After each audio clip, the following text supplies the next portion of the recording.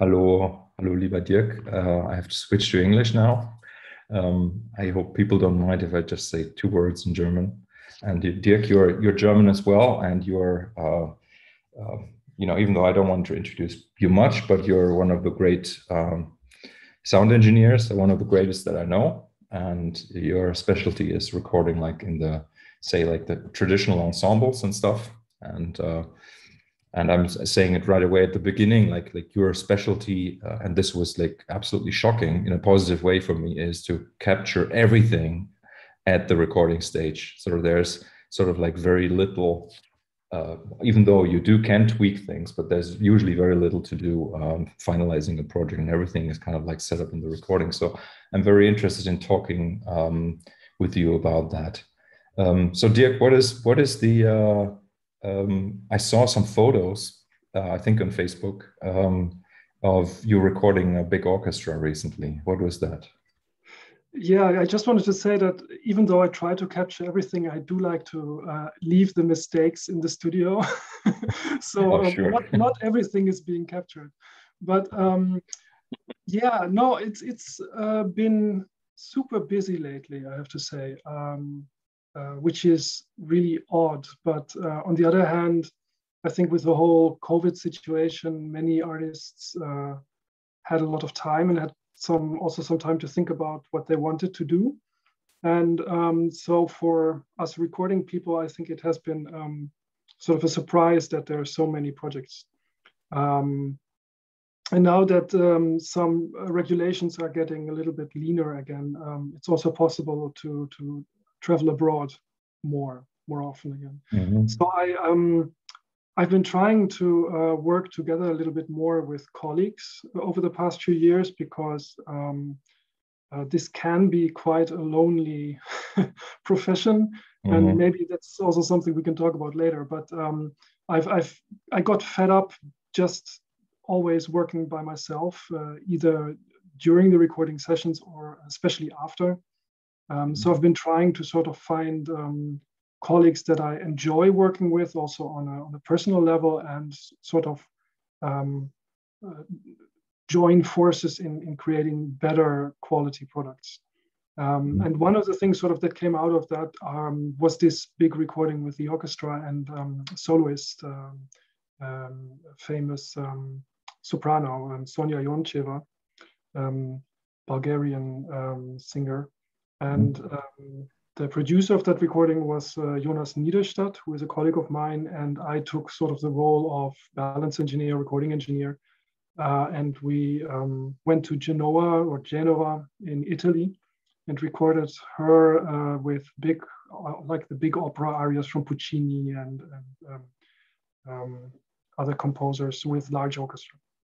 So mm-hmm. that was super exciting. Uh, and of course, it's uh, a big trip and um, but um, yeah that that was that was super enjoyable um, work. And and um, uh, we are we even continuing now on another project next week. So I'm I'm sort of now in the final sprint trying to finish a lot of post production before on Monday uh, so the day after sort of in two three days uh, I'm I'm also going with Jonas to um, Versailles in France to work at the the um, historical Opera Royale there and recording opera oh.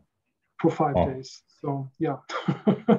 yeah. So I already already have a question or 2 mm-hmm. um, so you said that there has been uh, like more work for you than you expected uh, recently, and so is that uh, usually or mostly recording traditional repertoire, or is there also some uh, uh contemporary music? Um, it's both. Um, I think repertoire-wise, it didn't change that much in comparison to to other times. Mm-hmm. So I have to say that I think many um, many musicians saw this time as a chance to um, to try new things and maybe um, sort of things that are a little bit off the beaten track. Mm-hmm. So so yeah, that, I, I, mean the year started out with um, with a uh, an album recording in in um, cooperation with the Deutschlandradio here in Berlin uh, with the Kuss Quartet, a string quartet that I've also worked with uh, several times. And mm-hmm. they recorded only um, pieces that were written for them. So um, those are all living composers. Mm-hmm. Um, and all kinds of weird uh, settings and combinations with like a like a sort of a, beat poet and a traditional song leader with uh, um, um, quite modern and and edgy kind of stuff uh, mixed. So it, it, that was yeah that was something different mm. after recording Beethoven with them uh, two years ago. But um, yeah, so so I think people have, have tried have seen that they're, they're more willing to take risks maybe this time. Mm-hmm.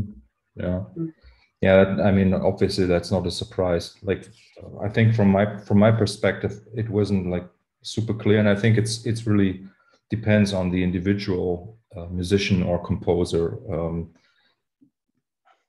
for me like the first the first few months of the covid experience kind of like i was very uh, active and uh, mm. creating a lot and for me it's now that it's it's gotten very hard to kind of like um, really be motivated to do things. But I think, I guess, for other people, it, it um, it just also depends on in which phase of your life this COVID thing hits, you know.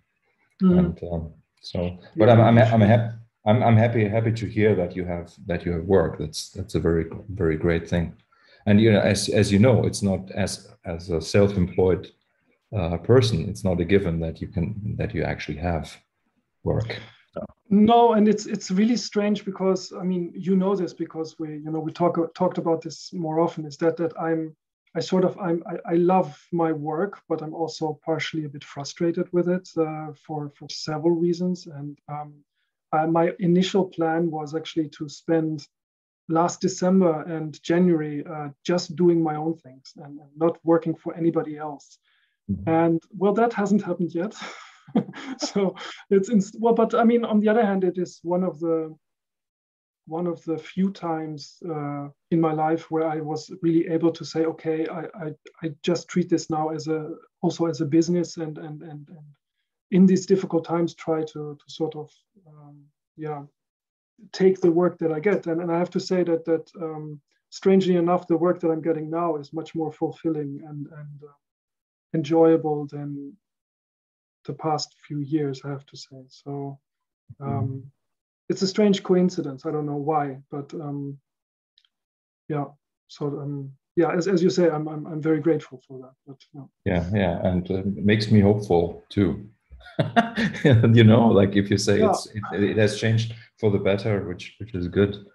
Um, yeah, Dirk. So maybe maybe let's just kind of like um, like I already said that I think that you're one of the greats, and like my my interest usually when I talk to people who are real specialists or experts in what they do is how how they or how you in this case acquired uh, your skills, you know, and so that's why it would be very interesting to me if you could tell us a little bit about how things started for you first of all, and mm-hmm. then when you like got into uh, uh, being a and you you you tell me what even what what the right um, words are to describe what you do, right? So and uh, and and how you kind of like then acquired all this knowledge. Mm. Well, well, I mean, thank you.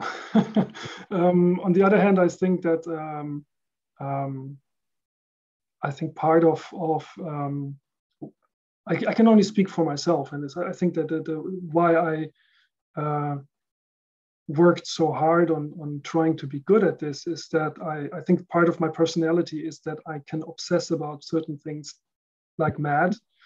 So I mean, if, if you if you give me a well, that's a bad example. I'm not going to say that. but um, if, if you you know we, we were looking for um, a property you know a while ago because we, we, we, we living in the city we, we were looking for something outside and in nature and you sometimes you find these um, uh, adverts without the actual address but just vaguely where it is and i'm telling you i'll find it you know i'll find it in 5 10 15 20 minutes on google maps i'll zoom in every little village and i will find that thing so i think mm-hmm. part of that is um, is just this obsessiveness about things and, and trying and, and wanting to understand something completely and, and trying to acquire this knowledge and, and sort of making it your, your second nature.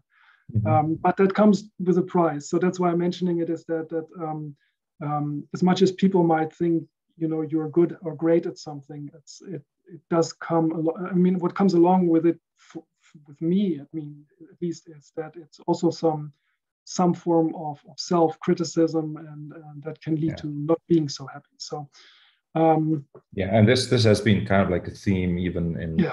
in these these conversations that i've mm. recorded with other musicians mm. but we we have come to the conclusion that on the whole it's a good thing right like to be well, i'm glad to hear thank you good to know so anyway, so, I don't. Yeah, yeah. I, am I'm known for for rambling. Um, so yeah, I, well, I started actually. I started out making music myself. I think. I mean, I've been heavily influenced by my brother Tobias, who you also know, and uh, Tobias got a small keyboard when when he was in his teens, and I'm three three and a half years younger than him and he was completely uh, he, he loved synthesizer music so um, he was always listening to uh, Jean-Michel Jarre, um, Vangelis, uh, Tangerine Dream, this kind of thing. Uh, and our actual our very first CD was um, the single "I Want It All" from by Queen. So that was the mm-hmm. actual very first CD that we ever had. Mm-hmm. But um, so I was, I think uh, th- that sort of was the music that we listened to and that we knew of, and, and um, I just sat behind that that keyboard every day for hours and, and just fiddled around, not having an idea of what I was doing. And sort of that that developed and we were you know um, i was very lucky to have a fantastic music teacher in high school um, who supported a friend of mine and myself very very much and i played uh, i started playing saxophone uh, already from a very young age. So i think you know I, I started basically being a musician and, and i wanted to make my own music. So i heard something on the radio and i wanted to to make the same sound and make the same thing. Um, and sort of what what you need to make that happen is also technology you know? If you want to record your own music if you want to do that at home in your sort of in your studio then then it's necessary to, to put it on, on a cassette or, or whatever we had back then. Um, so that sort of it was it was we borrowed a mixing desk from from school and these kind of things and, and slowly with a friend of mine together we bought uh, our first synthesizer then a sampler I somewhere I got an old Atari for 20 euro, you know, something like 20 euros, which now is uh, uh, impossible to get it for such cheap. Mm-hmm. So we, we, started trying to make our own um, electronic music. And somehow in, in, in the last year of my uh, my school time, in the 13th year of, of German school, um, I decided that I actually want to want to make that my work in some way or another. So record pop music actually. Yeah. So your, um, I don't know, like your Leistungskurse, so your mm-hmm. uh, the main um, subjects that you had in the last couple of years in school, uh, was that was music part of that? One of them was was music. Yeah, we we, we were the first um, year. We were the first year that um, didn't have this uh, Leistungskurs Grundkurs system anymore. We had oh. we were the first bachelor uh, system uh, class.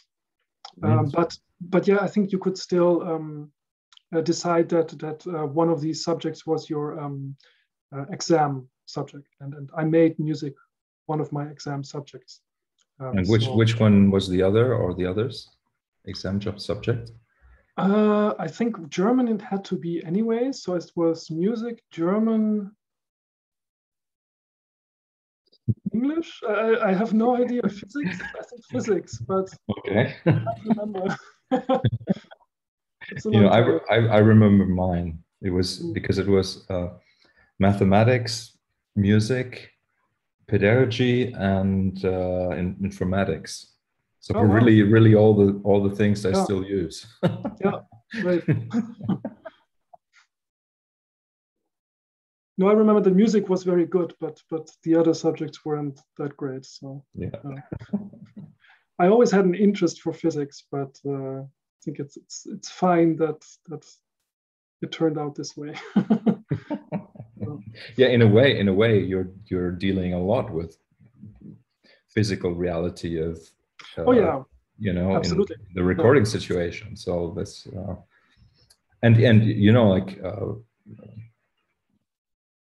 at least like how I experience you, and I, I just say this here at this this point is that you have like almost like this intuitive sense of of how to place the microphones and be, be, uh, probably because of your experience over, over over decades you know so so that's that's really uh um because when i think of physics for example this you know mm-hmm. like like for some i think it's you know if you see it as a science it's one thing but you can also um, develop a certain uh, intuit, intuition with the uh, with the physical world. And that's kind of like how i experience your recording. And just my just my two cents here. So did you did you did you then uh, immediately go on to to, to study um, music? Um, it's it's an interesting point what you just said and we, we should come back to that later. Um, mm-hmm. i yeah I, I wanted to go to germany actually. I, want, I applied for the um, Toningenieur so like the sort of sound engineer course in düsseldorf the, but at so, that time so you were you were in the netherlands right sorry, yeah, I, I, I, was born in, uh, in the Netherlands and I grew up there. Uh, mm-hmm. My parents were German, uh, are German, and um, so we spent I spent all my childhood in the Netherlands. So 1st uh, mm-hmm. some, somewhere close to Rotterdam, and then um, later in uh, The Hague. Yeah. Okay. Mm-hmm. So, but um, so yeah, I wanted I wanted to to go to Düsseldorf, um, but um, at that time I was uh, playing a lot of um, jazz saxophone, so mm-hmm. really like bebop, so Charlie Parker and uh, this kind of thing. And um, and my entrance exam in Düsseldorf was playing Charlie Parker solos, you know, uh, sort of, and and and they were sitting there in in sort of in suits, uh, black suits with white shirt, and I still remember one of the guys asked from the jury asking me, "So, um, haven't you prepared a concerto?" and I was like, "No." so um, I never got even to the second round there. Mm-hmm. Um, which in retrospect I'm really really glad about. Um, but uh, by coincidence. Um, so that was Toningenieur, right? So that wasn't Toningenieur, yeah. That, that wasn't Tonmeister. It wasn't Tonmeister because I wasn't good enough in piano, and um, I see. For mm-hmm. They they need you to um, to be really really um, accomplished in piano playing. Yeah. yeah. Okay. Mm-hmm. So um, actually the hague has a conservatory the, the royal conservatory in the hague and that had a course uh, called at that time music registration which was modeled after the detmold tonmeister course mm-hmm. uh, and the the person who um, was the head of the department was the guitarist in the big band that my saxophone teacher was leading so mm-hmm. i was able to do a late entrance exam and uh, then ended up in, in the hague uh, studying there in my hometown Mm-hmm. How many years did you study there? Um, well, officially it was four, but mm-hmm. um, already in my second year, I, I, was absent because I managed to get an, an internship at what used to be Polygram, so the, the Philips Classic Studios uh, in the Netherlands, and I didn't spend. I spent basically my second year all the all the time away. Um, so I think in the end, I, it took me six years to get my diploma, but I was basically already working while studying, and I wasn't spending that much time in school anymore at all. So I, the ideal situation, actually. Yeah, sort of. Yes, yes. I mean, in in in a sense, uh, mm-hmm. yeah. yeah. I mean, I'm I'm not saying for like maybe the experience itself, but just mm. having opportunity to to get into the real world and do real work, or you yeah. know, I think that's that's uh, a good thing. Yeah. Yeah, well, I think that that year there at uh, the, the company is called Polyhymnia International, and it's, it's still um, um, um, uh, sort of a very busy studio, especially for high resolution and surround recording in classical music. Mm-hmm. And um, that one year of internship there was um, incredibly intense. I mean, first of all, it was um, three hours travel every day, back and forth, and then wow. at least like 10 to 14 hours a day so um, that was usually how it went. Um, mm-hmm. But it, it was incredibly formative because um, uh, with Polygram in the Netherlands, they always spent incredible effort in getting a good monitoring situation. So they had, um, or they have some of what probably are the, the some of the best listening rooms in the world. Mm-hmm. And um, so I was able to sort of really train my hearing and, and sensitize my, my, my ears to um, to everything that comes out of loudspeakers.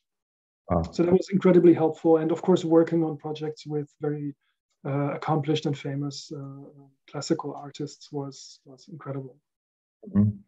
So, just because I'm curious, like the first, um, like you know, the the cliche is that the intern, at least in a in a, a commercial rock and roll studio, let's say, um, has to has to make the coffee and stuff. Yes. And was it like that for you as well?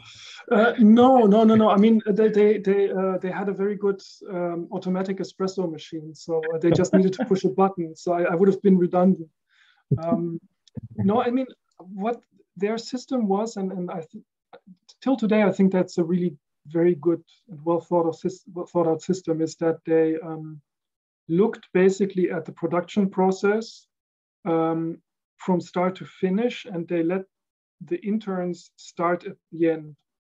So I started with doing quality control on masters. Mm-hmm, just mm-hmm. sitting there listening through if for any electric problems, any acoustic problems that might still uh, need some attention. Mm-hmm. And then you slowly go back and um, do some mastering yourselves, like basically only putting the PQ codes, um, you know, writing a DDP master, or even in that time we had the U-matics. Mm-hmm. Um, um, and then you would start loading in tapes for um, for the editors. So um, you would get a score from the producer where all the takes were written in within the music. And then you would have to sort of organize, okay, we need take 48 and we need take 20 at this place, but take 48 comes back later. So I'll probably have to load in a bit longer and this kind of thing. That was all done with 24 track dash machines, like these old Sony dash um, um, 24 digital 24 track machines. Mm-hmm. Half of the tapes were always sort of uh, had a too high error count. So I was running back and forth to the archive all the time. Um, but this way, you were able to listen on the tapes what the producer was to, uh, saying to the artist, what the artist was saying back to the control room during the recording sessions. Mm-hmm. So I wrote down a lot of things uh, that were very, very practical in the beginning because I heard other professionals and other producers saying them. Um, and at the same time, you started understanding uh, the method and the technology and the possibilities of post production. So at the time when you sort of were ready to go with them on a recording, and maybe later in your career uh, would produce recordings, uh, which of course at the time as a student I was doing that sort of on my own on other jobs. But it meant that that you know everything that would come later. So every decision that you would do as a producer by saying, I want you to start here because you were thinking, I want to cut two bars later, you, you know that you cannot, let's say you cannot edit at that place or you cannot start at that place because the edit will be difficult and these kind of things. Or um, the other way around, sometimes you rather want to ask the musicians not to play something again because maybe it's just you know at some point it just gets annoying because you know you can fix it later with just one cut you know mm-hmm. so I, I, that that's what I what they made me do they did very very simple things maybe just like compiling CDRs at the time for, for artists loading in stuff and then slowly um, um, putting edits together uh, myself, which were then controlled by somebody else. And later, of course, sort of um, taking on um, editing or mastering projects uh, alone. So this this uh, first, like like compiling from CDRs, for example, uh, which software was it that you used for that? At that time, it wasn't even a software. We probably mostly did it by hand with a CDR recorder and and and then and, just playing it back from the DIT from the DAT tapes. Okay. Um, but um, what they were using was Sonic Solutions. So mm-hmm. um, I think mm-hmm. nowadays it's called Soundblade. So um, yeah. Mm-hmm. mm-hmm. They, mm-hmm. they were one of the first studios in the Netherlands where they uh, used uh, the 24 track Sonic Solutions. So um, uh, they had like a, a year. Which year was this about? Like... I think they started using that in the 90s. Yeah. Mm-hmm. Yeah. Very interesting history is they they, they started uh, using the the uh, uh, digital mixers that were developed in house by Decca in in Great Britain, or sorry the UK, and um, uh, then they asked a very tiny Dutch company to make their uh, mixdown mixer, which was a genius concept at the time incredible. I mean, it's it's too long to explain, but it's uh, what was it called? Uh, I forgot. Mm-hmm. I, I, can I look it up. Yeah, and and and part of that was was going uh, starting editing um, in the box, let's say. Yeah, the Sonic mm-hmm. But when I started there, they were um, they were still working on the 24 track Sonic solution, sometimes you know, 32 tracks, um, but um, they slowly started to transition to uh, Pyramix. Um, so I started, I think, with Pyramix version three at that time when I when I started there, and I think now it's on on 13. and you're still you're still using it, right? I, yeah, I, I bought uh, bought a Pyramix myself during my studies, and mm-hmm. um, um, I still have it until until today. I mean, the system changed and, and, and it evolved and so on, but yeah, I'm still working. Mm-hmm. So, so this initial work there as an intern did not, um, as you explained, like started at the end and you know went mm. went backwards. So when did you do you remember like the first experience where you had to record something um, that then kind of like was actually being used? I think uh, I think my first commercial project was um, was for a CD-ROM, mm. um, and it was uh, with the Nederlandse Bachvereniging, so the Dutch uh, Bach uh, ensemble, uh, and um, uh, and it was supposed to be for school children, um, and it was an interactive CD-ROMs around Johann Sebastian Bach's Matthew Passion. Um, so the idea was that they would be able to, um, let's say, listen to a, a complete tutti um, orchestra choir piece and then say, okay, I want to switch off orchestra one, or I want to switch off choir two and orchestra one, so I hear the, the others. Um, so we basically overdubbed uh, complete parts of the Matthew Passion wow, that's, in, that's, in, a small church. And, um, and, that's insane. How did how did you do that? I mean, um, like, like, was there have, a click a click track or? yeah, I, I um, at that time I think Pyramix didn't have an internal click track, or at least I didn't find it. So I, I mm-hmm. remember spending the night before the recording at midnight in my in my student room recording uh, my metronome, my hand metronome, all the entire tempo, so I could I have I would have a click track for the people to to be able to sing to and record to. No, no, that that was a fantastic program. It was um, um, initiated by a, a German friend uh, who who's now teaching at the conservatory in The Hague, and his name is Daniel Salbert. And he was a choir conductor and and, and music theorist at the time, and and uh, he had these these wonderful ideas for projects, and it was realized through um, um, this that's not really a company, a stichting is what they call it. Um, don't know mm-hmm. the English word. So mm-hmm. um, like a non-commercial, they used government money to to uh, realize this project. Mm-hmm. And yeah, it was fantastic. I mean, it's um, we discovered that that uh, the viola parts are the most incredible parts in the Matthew Passion. Sometimes, you know, if, if nobody, but nobody hears them. so if you hear them like this, is you you can't hear that viola part. But if you if you actually listen to it solo, because we had to overdub it, then then yeah, it's, it's incredible. Mm. Mm. And children were able to to draw a line because there's there's all this symbolism in the music, right? So there's there's um, the moment when when when when it's about the devil or that there's this snake uh, theme, right? And and there's there's this snake kind of line sort of in the in the, in the actual music score that you can see. So the children were able to sort of draw, um, move their own notes and, and, and sort of to make their own snake. And then you would, of course, have to be able to hear it. So mm-hmm. we had mm-hmm. to, you know, sample basically every single note of, of the instruments. And I think we had for bassoon, uh, violin, and two others.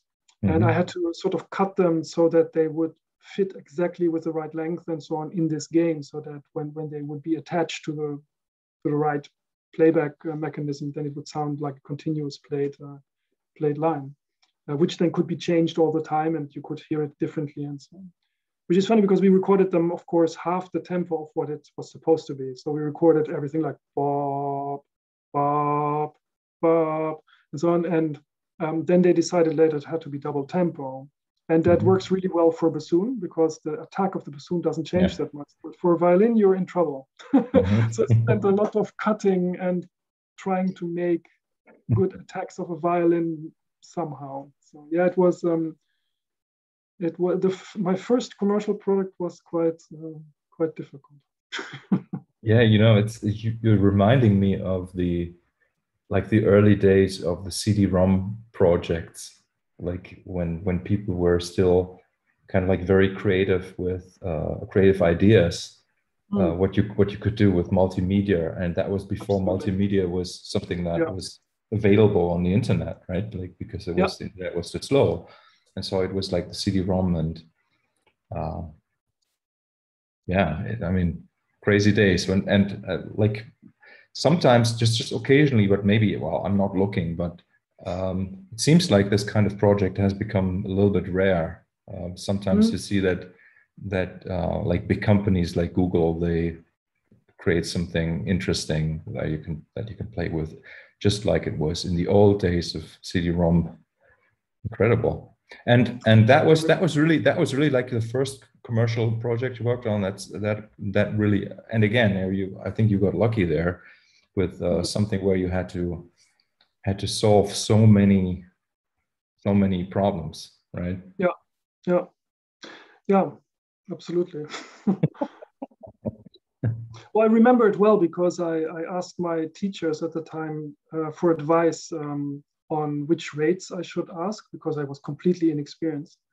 And they basically told me, well, you're so inexperienced, you should ask like only very, very little. Um, and they, they didn't really help me out a lot. So I, I, I, took a student loan to buy my Pyramix at the time. And I spent uh, like a few years paying it back. But I found out later that the budget of this project was, uh, you know, noticeably over a hundred thousand euros, and um, my fee was so low that it would have the, probably they, they they thought like he's joking or something. But I, I could have I could have gotten back my um, complete loan with that project and still earned money if I had just if I had gotten better advice from my my my teachers at the conservatory.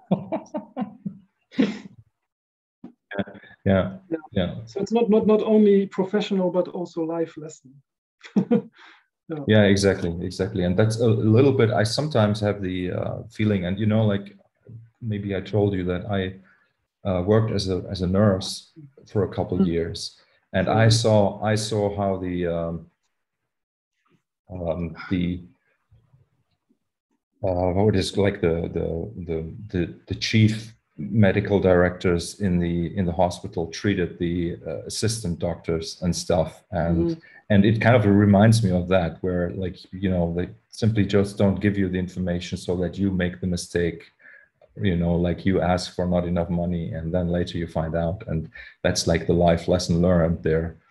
Uh, i'm not i'm not sure if i if i always agree with this method but it's it's very common. I mean at least uh, like in the hospital it was very common well, it's.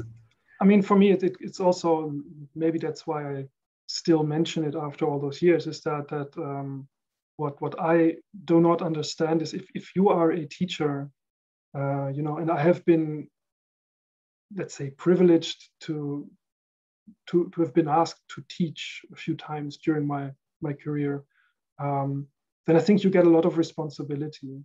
And if somebody now would ask me, you know, even a student that I don't know of, or even a student that I might not like that much, or who I think is a bit arrogant or whatever, mm-hmm. um, you know, what what kind of amount of money should I ask? I, I just I find it so irresponsible to to not give decent advice or, or, or just explain, you know, maybe my question was wrong but i'm experienced enough now that i know that you know that i would tell tell my student listen you're asking the wrong question. You should actually think about this and and and, and please be aware that you know that even though you're not experienced there's there's sort of um there's a, a minimum also sort of that you have to that you have to ask for. Even if it's if it's just not being too cheap in comparison to your peers or something like that you know? Yeah, because they, then these, there, there's there's so, fight for themselves, but at least you should, as as a teacher, you should give decent advice. Yeah, it's sort sort of an ethical issue, I think. Mm. and I, I agree with you that decent advice. And and you know, like um, this has also already been a theme sometimes in these conversations that um, sometimes the, the people who who teach are not necessarily the ones that even have the the real world experience. Maybe it was wasn't the case for you and you know with your teachers but sometimes uh, sometimes they don't really know the answer. You know that's also um, something to expect. Um, yeah. yeah I, I mean i remember when when i started the business with bernhard um, mm-hmm. like graphic you know uh, graphic design stuff like it was really uh, it was so difficult because we had no idea how much our work was worth you know? yeah yeah okay so so like so i'm interested now in in um sort of did you did you have a mentor then later on like somebody who or were you kind of like on your own most of the time um figuring things out on your own i uh, i think i was on my own most of the time to be honest yeah. mm-hmm. um i uh, I did have people that I sort of uh, whose work I idolized, um, and up until today, I think like this uh, Erdo Groot is someone who who's working at Polyhymnia where I did the internship. Um, he made incredibly good recordings. I mean, still up to date that I'm I'm, I'm just very very impressed by.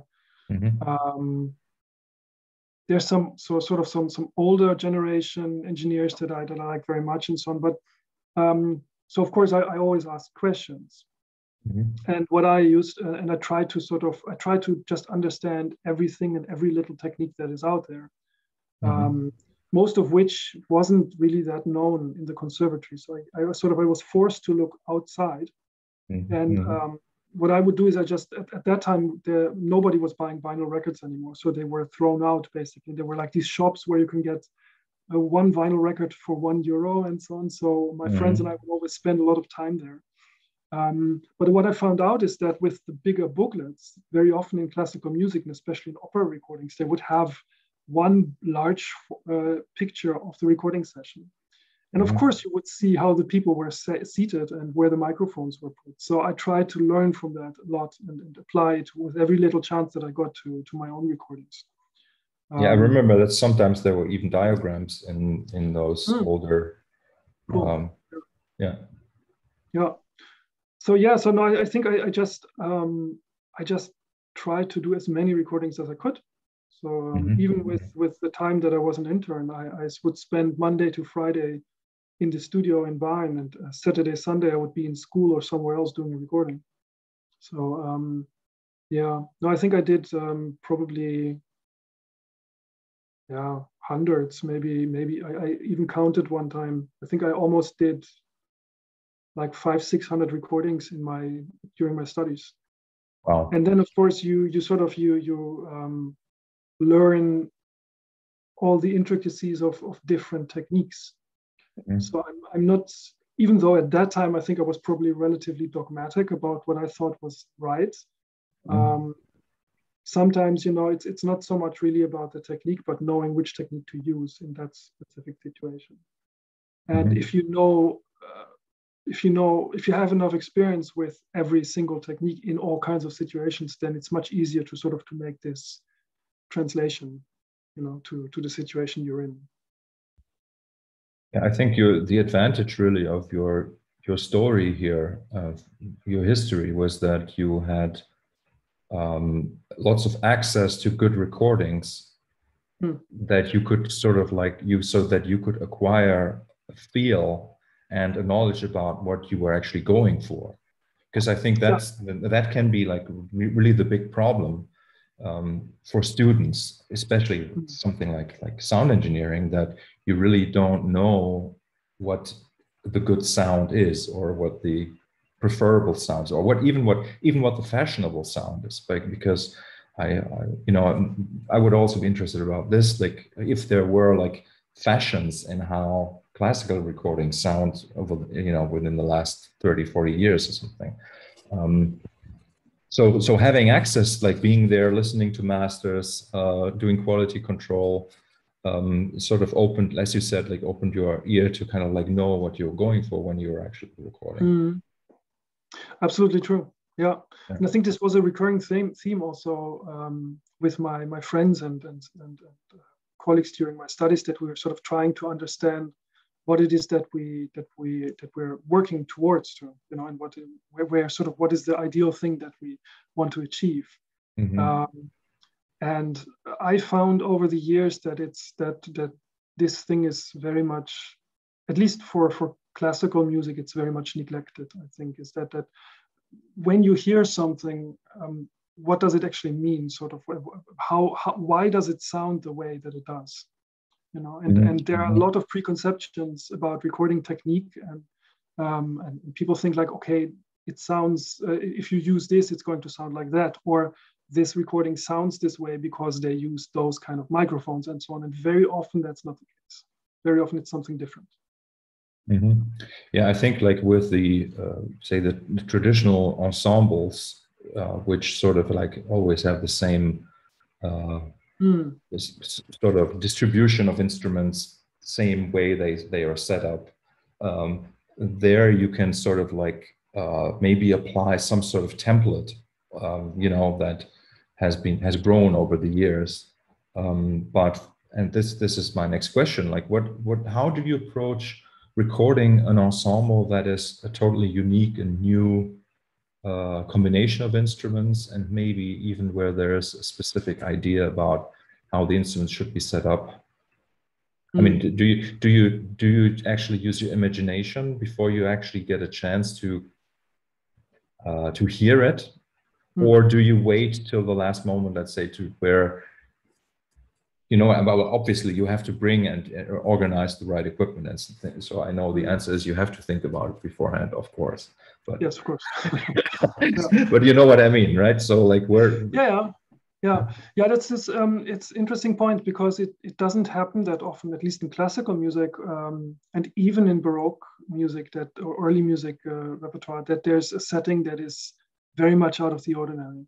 And if mm-hmm. it's sort of out of the ordinary, then usually those are instruments that are, are part of the, you know, sort of of, of the, the collection of traditional Western instruments. Mm-hmm. Um, and maybe they're just set up differently. Or, um, for example, next week in, in Versailles, we're recording uh, this opera. The, the, the ensemble only has two violins and a double bass and two gambas, and for the rest, it's all plucked instruments. So it's it's an old harp, uh, it's a theorbo, arch lute, this kind of a lot of percussive, lot of plucked instruments um, and not so much, let's say, um, um, a string orchestra with some additional um, colors. Mm-hmm. Um, yeah, I think, I mean, it's, um, I recorded, I worked for a few years at a, at a, Dutch publishing company and they recorded, they sold only music for wind bands. So symphonic wind bands, but also brass bands and what is known in the, the Dutch speaking countries or Flemish speaking countries and French, the, the fanfare orchestra which is sort of um, a mixture of, of, of, things. And those orchestras are never the same. Um, so when you get a commissioned piece, let's say for a Swiss orchestra where they have nine trumpets and, and like um, four clarinets, and you go to the Netherlands to a military orchestra where they have, let's say, four or six trumpets and 12 or 20 clarinets, then already your balance is off. Yeah. Um, so that's very interesting. And, and I, I also worked in, lived in Asia for a while and, and recorded um, traditional Chinese instruments. And there's even traditional Chinese orchestras. So the orchestra is not traditional, but it's made up of traditional Chinese instruments. Mm-hmm. Um, then the only thing you can do is, is try to uh, hear it live. This is mm-hmm. one thing. Mm-hmm. Maybe rely on uh, other people's recordings, which mm-hmm. can be helpful to identify sort of what typical problems are or um, just maybe how it um, how it might sound with um, you know just with microphones there but then just trying to understand the individual instruments or instrumental groups and, and how they project the sound and, and um, um, sort of try to build it from there you know know know in advance how are the how are the groups going to sit um, how do these instruments project and interact with the acoustics what is their musical role and function mm-hmm. and then build it from there. And that is, at least for me, it's really an intuitive process. Partly you have to sort of get your facts straight, but um, you know, and, and, if you don't know them, you have to research them. Um, but then it's it's trying to sort of use your imagination and, and be as prepared as possible and, and, and think of alternative methods of capturing what you need to hear. And then when you're there, you need to be prepared to make changes if you need to. Mm-hmm. So, you know, like we, we haven't really talked about the, the very technical aspects yet. And I think that's okay because, um, like, from what you just said, like, I, I kind of like got the sense also that there's uh, something about the communication with the people involved that is also probably part the big part of what you do uh, because like when i'm thinking about just practically and you have like say the conductor um, if you are the producer and the uh, engineer you may also want to sort of I, and that's the question like do you sometimes want to kind of like overrule what the what the conductor says if something starts sounding bad or is not blending or or would you kind of like take a step back and try to find a solution in the setup of the microphones to kind of like mm-hmm. um, correct the mistakes that uh, you know the, the imbalance that maybe is present uh, or would you even go so far and have an influence on on the setup and you would say okay if like if like the first violinist would move over just one meter um, do you do something like that, or is that all in the um, hands of the of the orchestra and the, um, the you know I don't know who, who's responsible there? Well, ideally, of course, it's it's something you decide on together. Um, I mean, mm-hmm. parts are maybe already just pre-decided by um, you know some orchestras purposefully sit in a certain way. You know, you have some established seating orders in, in classical orchestras, symphonic orchestras. Um, for certain repertoire, I always prefer having them sit, let's say, in what they call a German way, so that the violins are spread left and right. Um, especially for romantic, but even early classical or classical repertoire. That I think is just also how the music is supposed to to be played um, and to sound.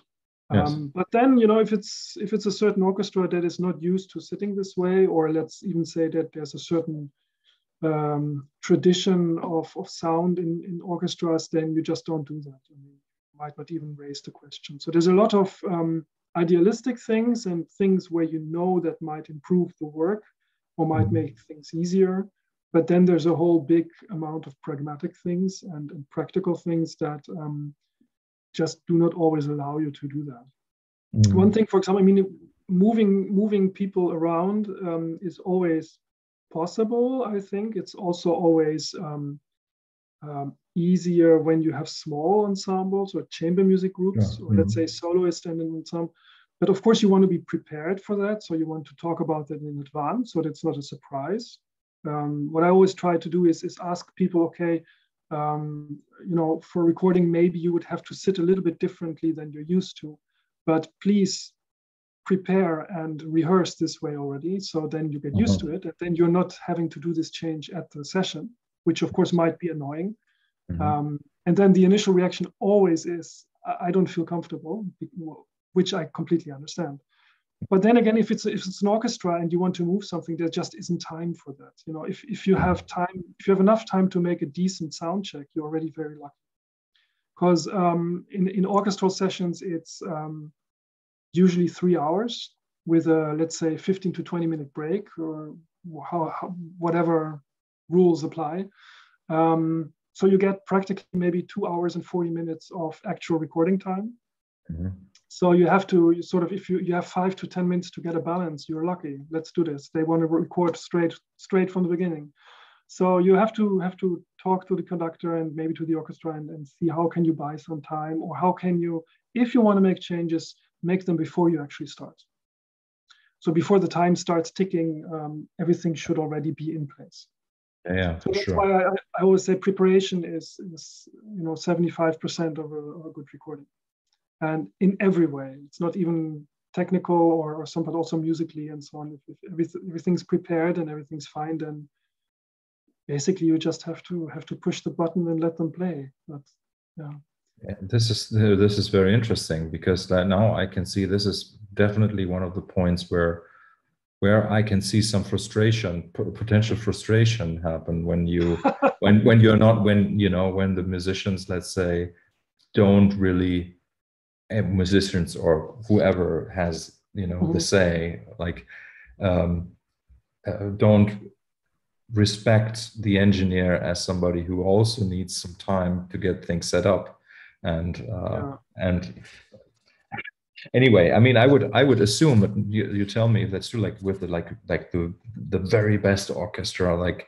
maybe they have more experience or a lot of experience recording and that could either mean that they are even worse in just kind of pushing things like with the engineer or they say okay no we're relaxed and like mm-hmm. we we give him a little bit more time but so but it's, it's a is it yeah. a union is it a union thing for them like is there is there that's why it's three hours or yeah no it's it's with orchestras it's it's unions i, I mean it, it depends on where you are in the world how if it's a mm-hmm. union mm-hmm. or if it's somehow something else but mm-hmm. usually these groups are um, extremely well organized and, and uh, workers' rights, let's say, are, are just taken care of. Um, so it's it's like um, you usually have two two sessions of three hours each per day, and then you have one and a half hours in between of, of break. Mm-hmm. So and you can sort of rule of thumb is that maybe you can get 10 to 15 minutes of final program time, so sort of edited music uh, out of one session, if if it if all things go well. Um, in film, they sometimes take a bit longer. So um, I've done four-hour sessions, uh, but then it starts to become also sort of it, it gets tricky that if you want to do more sessions per day, you have to really be very careful with how to distribute uh, uh, pause like break times and and and, mm-hmm, mm-hmm, and, mm-hmm. and that's also something that very often um, uh, things go wrong. I mean, um, if, it, if it's if it's a well organized orchestra and ensemble, these things are all perfectly taken care of. But mm-hmm. as soon as you're moving a little bit away from that, um, you start like so suddenly lunch breaks are only 45 minutes or an hour. Mm-hmm. Um, it, it's not even so much about saving time. It means like um, you put down your violin, you're putting it in your case, you're going outside. The moment that you're on the street, already 15 minutes have passed. Then you have to go somewhere. If you know, if you didn't prepare your own lunch, you have to go somewhere. You have to stand in line. You have to buy it. You have to sit down. Another 20 minutes have passed. So the moment that you're coming back to the session, you sort of you you you barely ate and you didn't have actual break.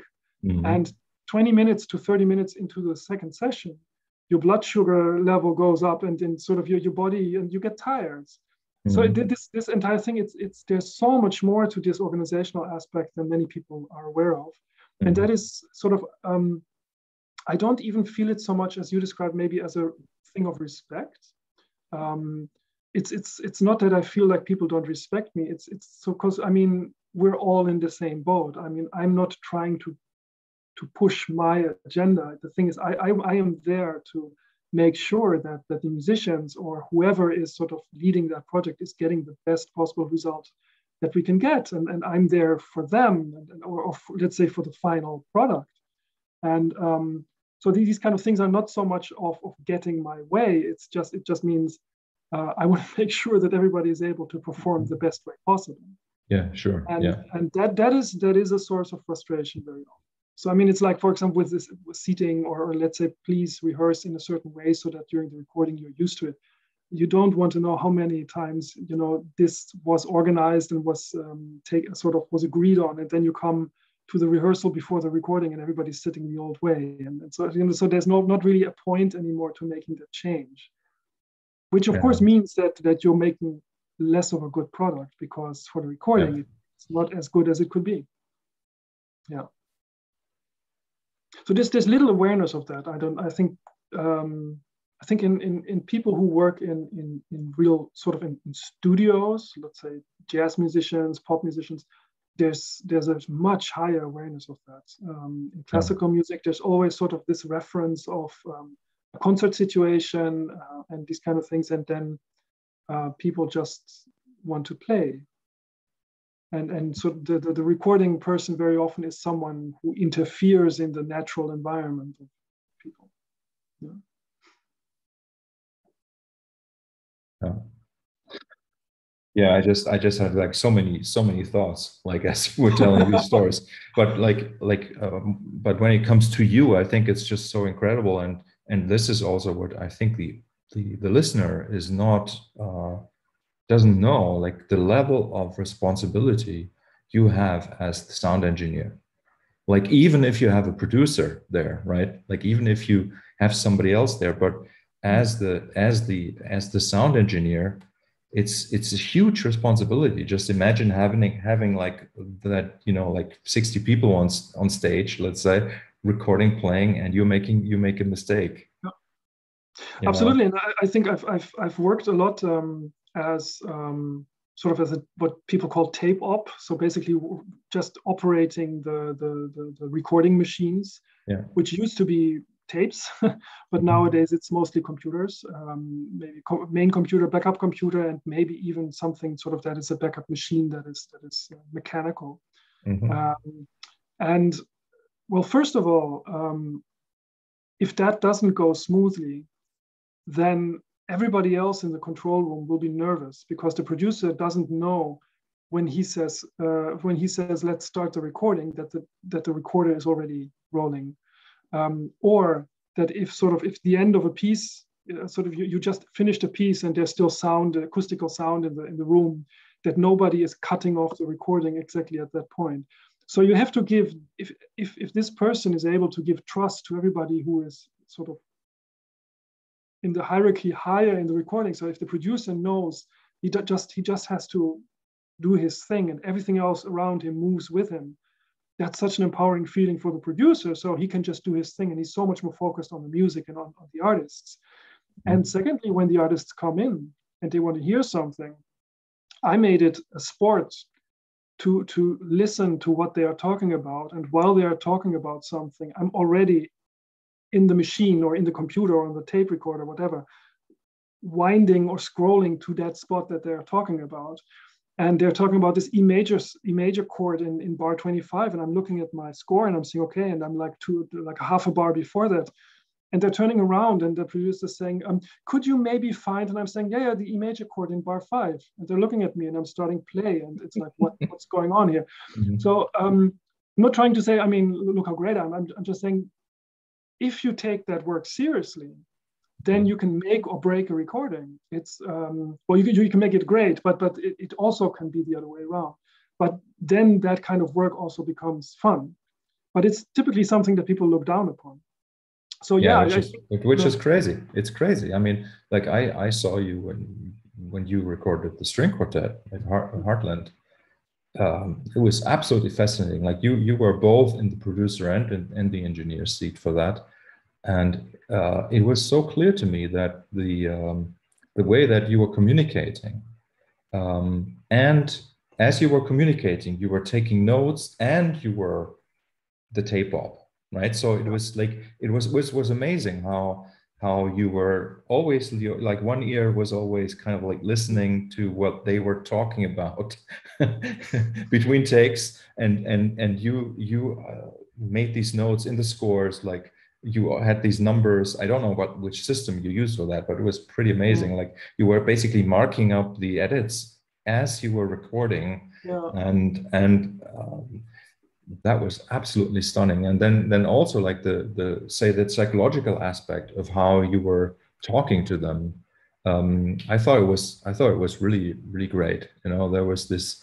um, very um, I can't. Well, I, I, you know, you were you were talking Dutch with them, so I, I didn't understand everything, but but it felt like it felt like it was all like very very civil. There was no need mm-hmm. ever to. Um, there was never a question about the um, in this setting, at least, about the um, uh, authority. Let's say that you had. Well, I mean, to be honest, the Matangi Quartet, of course, is that they're such wonderful people that also that makes it so much easier because they already bring this this nice, comfortable atmosphere to, to the recording. So they're just by themselves, they're already, you know, relaxed and, and, and nice people. So that helps. but um, it's interesting that you say that. I mean, it's um, I've taught myself over the years, at least the, the past four to five years, to start making the edit plan in the score during the recording already. Um, and that sounds like a trivial thing, but um, uh, that's actually not that easy. It took me, I think, maybe 15 years to get to that point that I, I feel comfortable, you know, writing down, okay, um, this is what I take from take five, this is what I take from take 18, and so on. Um, still, of course, I will deviate from that, but um, the, mm-hmm. the, the basic thing is that it, it um, forces you during the recording sessions to make um, maybe what you could call destructive decisions. So, you know, it's, it's like um, you make a decision and it's final. Mm-hmm. Um, if every time you just write down, okay, take five was good, take six was also good, and so on, and, and but you do not decide which was the one that you're going to use, you really do not know what you have. You really do not have an idea of how you how, how you want to um, how you want the composition to take form later. Mm-hmm. So I might not might not even always use the exact edit plan that I wrote in the score, but having one gives me the confidence to know we've got this covered. And of course, I've sort of I've, I've made my own system of always writing options, so I always have an alternative, at least one or two alternatives for the same passage that has been decided upon, uh, which might have a bit of a different character or which might have been a little bit um, cleaner or, or, or say objectively better, but the one that I think we will use is more charming, these kind of things. But um, the basic idea is that you decide there what is good and what is not, and what will you use and what what what will remain. Because if if you do not do that, then why are you asking them to do something again?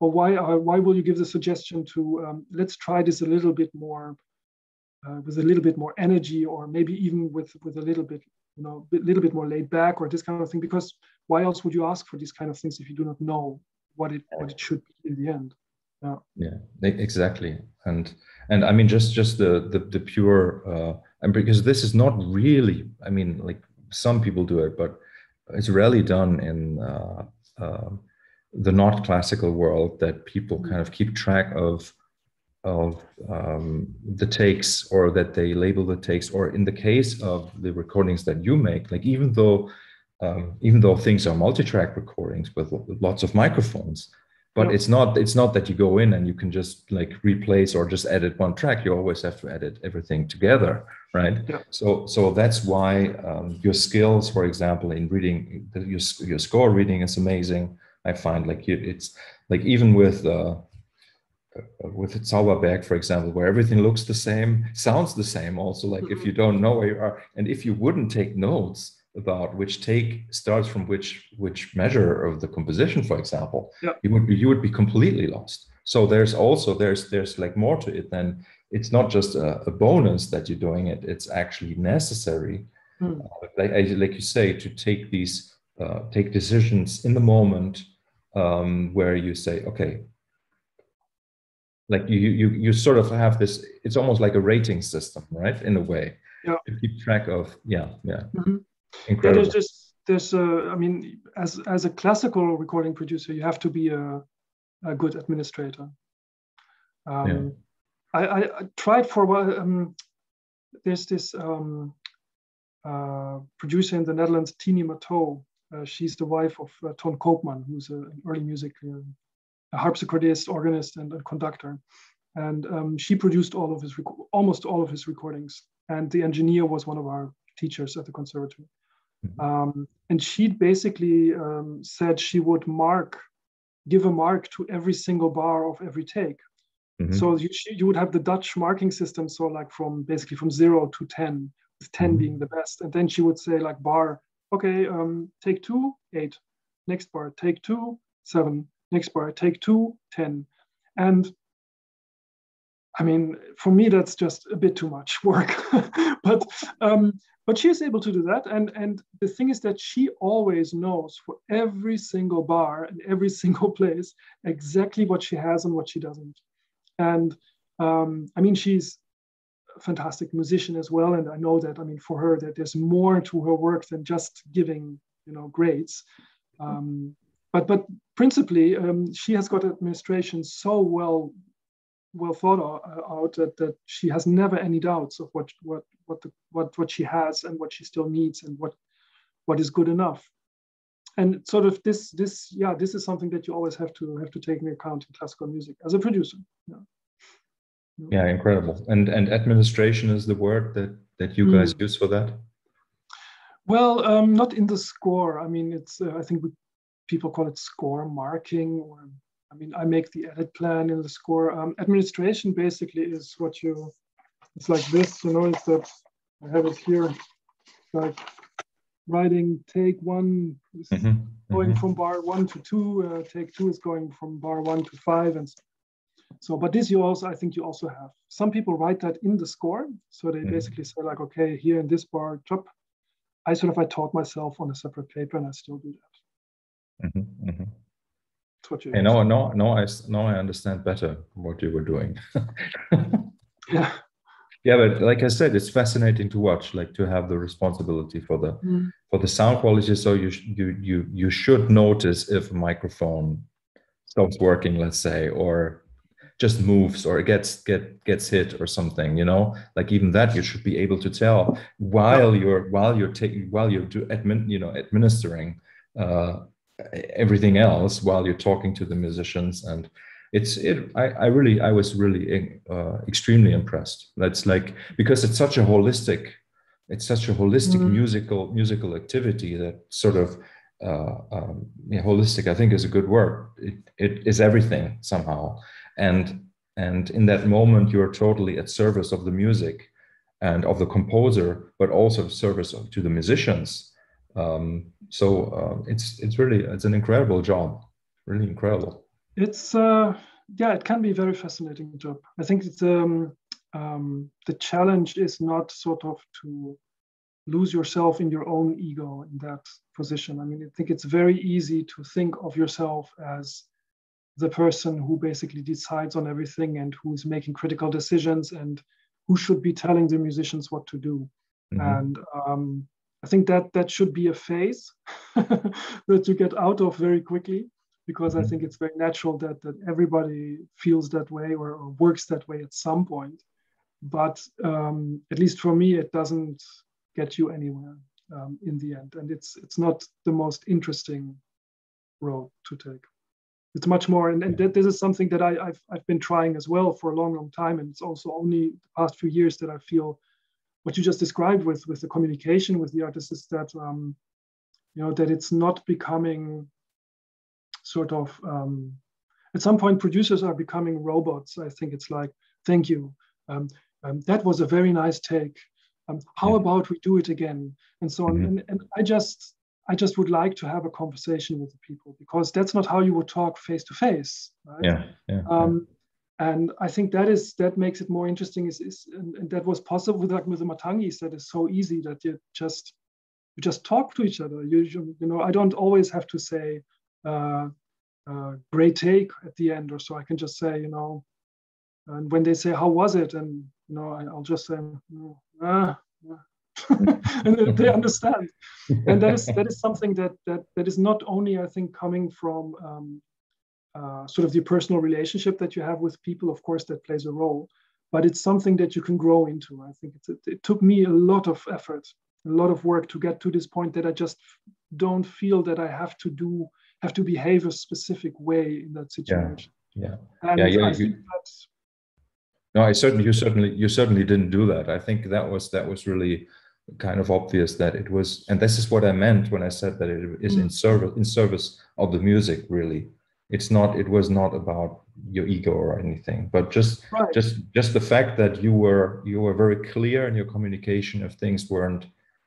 good enough let's say but there mm. was never that was never a judgment it was just right. you know it was just it was just a statement for uh, it was just the reality of the moment okay we need another take and and that's also as you said like how the the matangis responded and i remember that um, um, there was this one and i think it was actually zauberberg where both you and i we said no it's enough. Mm. like like and they said no we yeah, want yeah, to we want to play another take. Yeah yeah. Well but, but that's, that's that's a great thing is that that um i think if, if you if you because i find it much more respectful to tell someone I think that wasn't really better than what we had, you know, or it wasn't good. Um, then to sort of go around it, you know, and just like, mm, yeah, well, maybe we can, and so on. And that people always sense if you're being honest or not. Mm-hmm. So um, I think, well, at, at least at, as long as they don't want to be lied to, right? That's another story. But mm-hmm. um, no, I, I, think it because subconsciously, the, the, mm-hmm. the, the artists and the musicians, they they feel that they're being respected for their work and that's the great thing about recording is that okay so it it didn't go as planned. Let's do it again you know? Mm-hmm, mm-hmm. That, that's why you are there and you don't have to get it on, in, in one time every time after five hours of working you know? Yeah. so let, let me jump to um, a completely different okay. question. Okay so let's just kind of like assu- assume a very complicated um, complicated in the sense like a really huge ensemble like orchestra and choir or something mm. like that.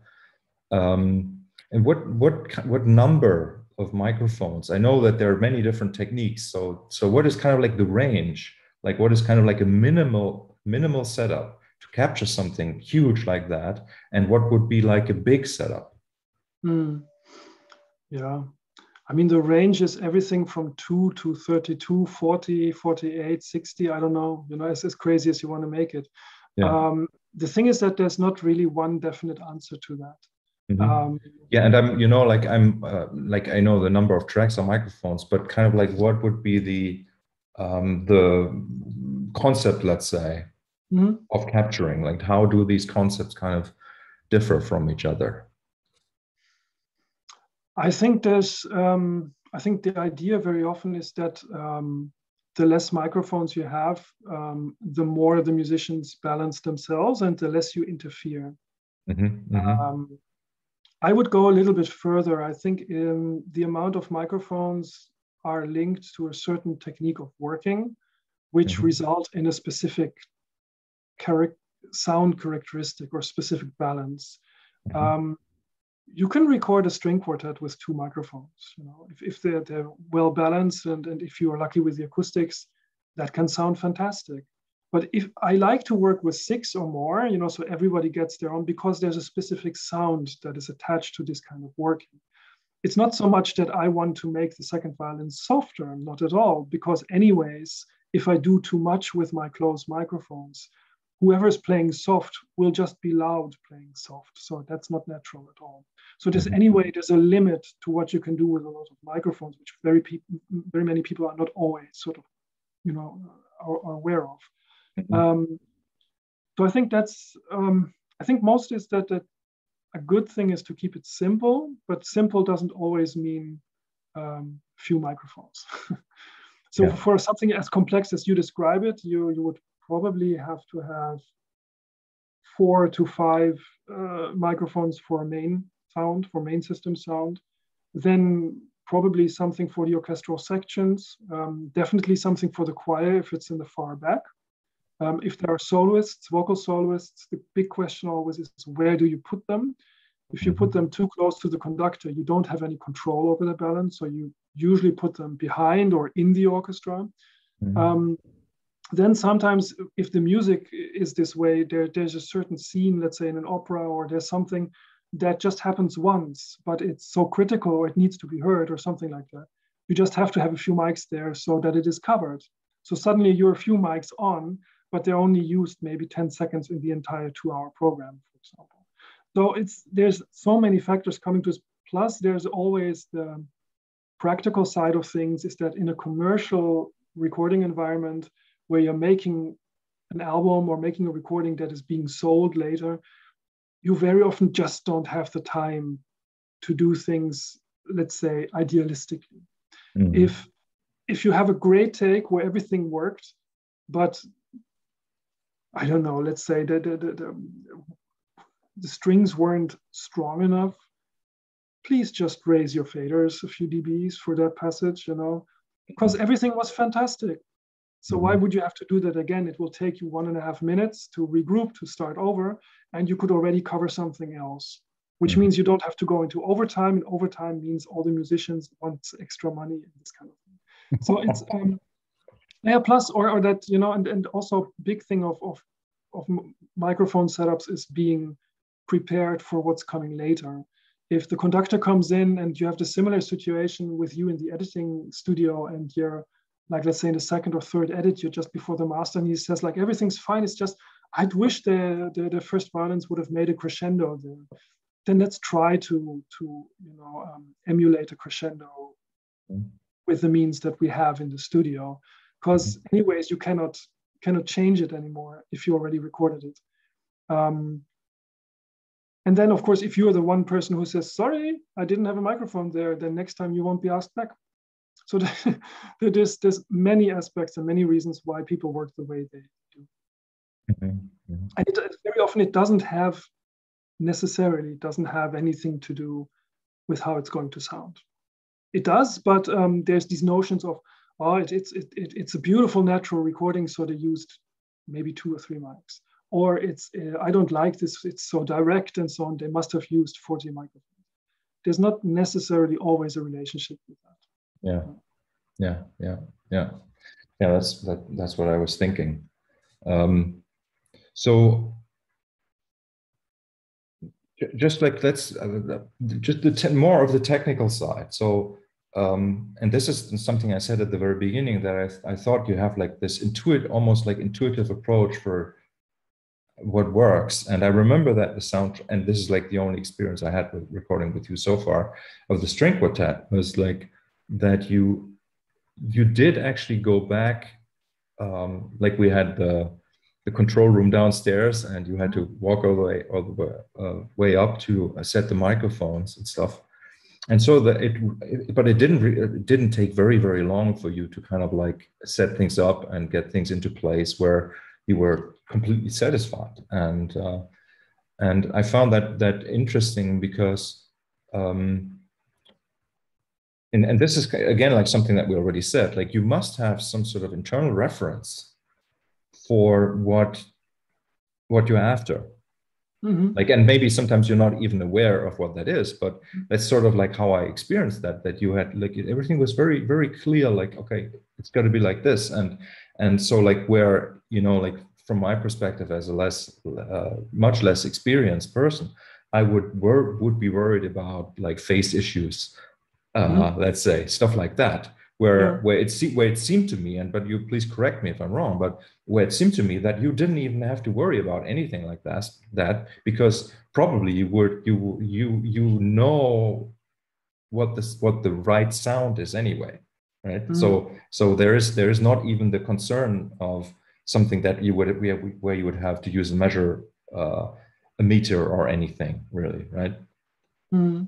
Or do you do you use do you use visual visual feedback um, like meters obviously like the the peak you you definitely use right but you're not using like a like a, a stereo width um, thing or or no. phase cancellation stuff or anything like that right you don't no, no. If I if I don't hear phase, then it's not an not an issue. Yeah, um, yeah, exactly, exactly. That's what I mean, and that's ama- I mean that's kind of amazing because. Mm. Well, the danger is that when you see something that you imagine it's there, and and, and especially mm-hmm. in, a, in a tricky situation with like um, starting a three day or two day or four day session, and um, always sort of uh, trying to get the sound as quickly as possible, um, you don't want to be distracted by these kind of things. No, I think, I mean, it's, um, hmm, um, well, you have to know your instruments. That's one thing. Mm-hmm. Uh, and that is that is a fascinating and and continuous um, exploration and and, and learning um, experience. At least for me, I mean, it's it's uh, um, you know where does a violin sound good? Um, but what does it mean that it sounds good? Does does it does it sound good there when it's a soloist in an orchestra, or does it also sound good there when it's the first violin in a string quartet? So mm. um, those are things that you need to be completely aware of, and then um, know your sort of know your exit strategy. If, if if it doesn't work, where are the other places that you can go? Mm. And um, this is experience partially. It can help if people teach you things um, but then, of course, it's also hearing there. And I always listen to the instruments. I, I know where to start, but I always listen uh, to the instruments in the room uh, where the microphone is. And that is also not so as easy as you might think. It's it's because you you have two ears and your microphone just is a microphone. So you have to translate that sort of to, to I, I visualize it for myself like like making it from 3D to 2D. You have to sort of force yourself to to to flatten um, that what you're hearing so you get a feeling or got to get a, get an idea of how it will sound on the actual recording on this uh, between loudspeakers or on the on, on the headphones. And then be aware of how that is in the context. And so you go from instrument to instrument to instrument and so on. Sometimes it's also about you know if you have because uh, a typical way of working in classical music is with uh, an array of main microphones um, which are usually omnidirectional microphones. And um, then the question is okay, if you put microphones closer to instruments as well, should they um, capture the entire sound of the instrument or should they rather not and capture only a specific part? Mm-hmm. Because otherwise um, it won't mix well, for example, yeah. or it will mm-hmm. become too important, you know? Mm-hmm. Um, I think the fascinating things about microphone technique um, is not so much um, let's say the objective part where you can say if if, if somebody is sitting 45 degrees left of your mics um, between the speakers there will sound 25 degrees left or so. This is really something i mean this is something that you can quantify and that you can can teach and learn and you can take a tape measure and these kind of things. Um, and then you will sort of approximately get there. Mm-hmm. problem is that very often doesn't sound also it takes out every I'm not there sort of to, to, to capture documentary style what is happening in that room. I'm trying to capture the essence of the music and the performance. And I want to transform that into this other medium where it's being listened to in a completely different context, in a completely different situation by people who might not even know the music already or might not even have a fascination or interest in it. And, and you have to get them engaged and, and get their attention. So there's yeah.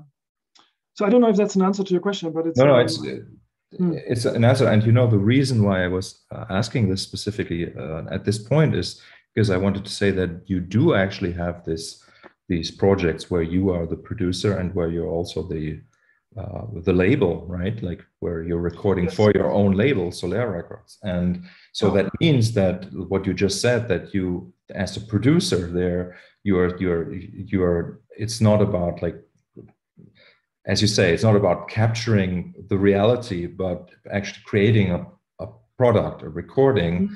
that sort of like has a, a, depth of atmosphere, a specific mood, a way, uh, like a, a sound, right? Like whatever that means um, and where where the um, where the compositions, where the music is presented in the best light.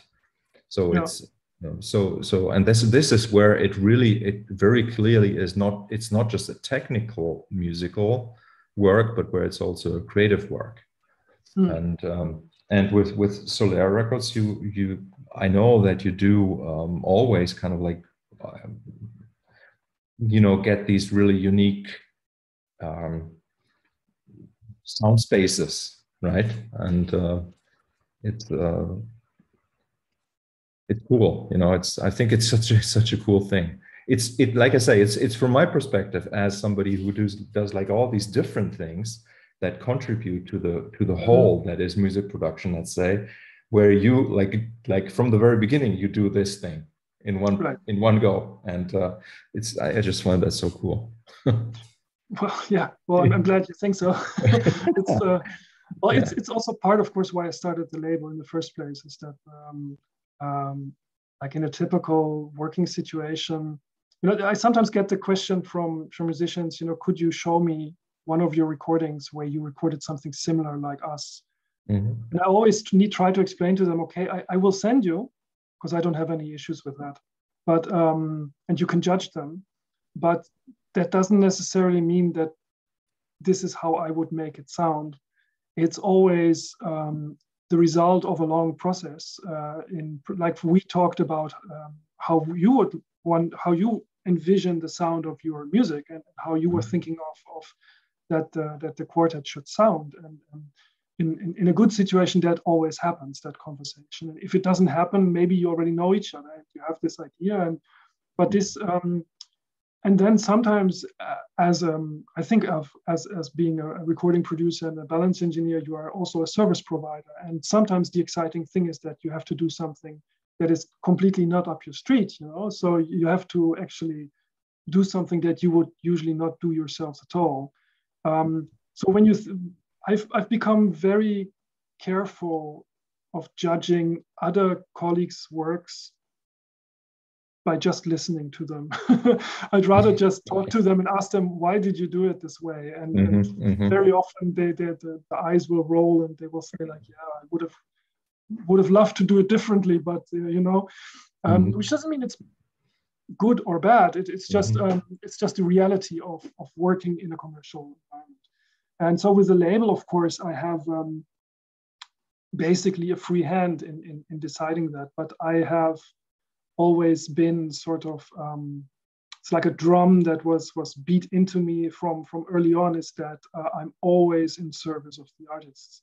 So I, I, for me it's actually very difficult to to um, say this is how we're going to do it because I decide so, uh, at least for the sound. Um, I think I, will try to do that more, but in a sort of a more friendly, convincing way, or just also because I think that because uh, I see that the sound is always um, part of the interpretation of the music that the artist is playing, you know, and, and so I, I, want to sort of be, I want the recording to be a reflection also of the artist's performance and artist's ideas.